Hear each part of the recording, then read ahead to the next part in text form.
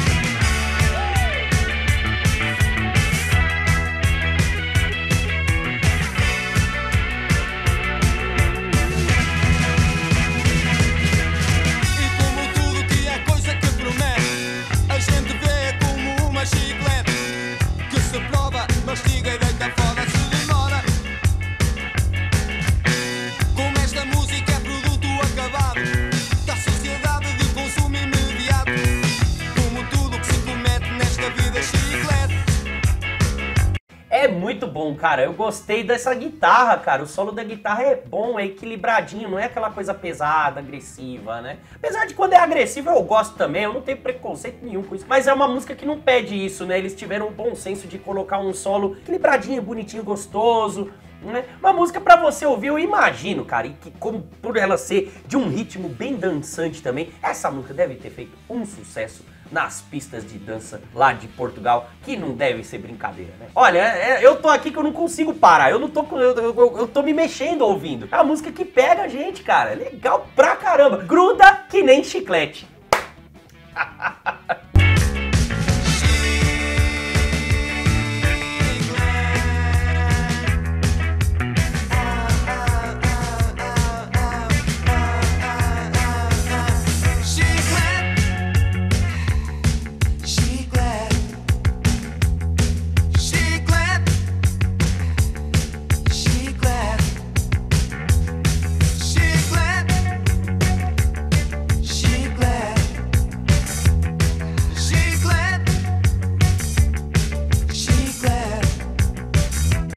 de repente ela vira um new wave. Ela sai daquele ska, vira aquele new wave, aquela que tem aquela característica de baixo paletado, tom dom dom dom dom dom dom dom dom dom dom dom dom aquele pós-punk, sabe aquele som? É muito anos 80 isso aqui, cara. É uma delícia, é uma época boa, viu?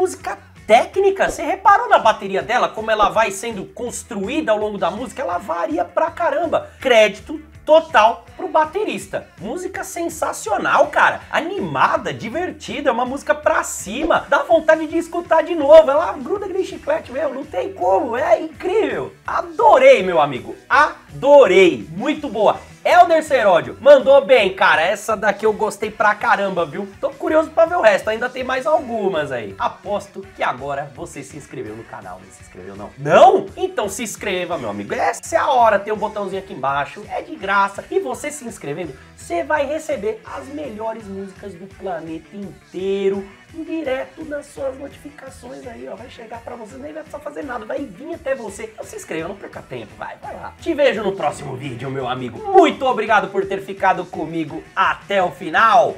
Fui!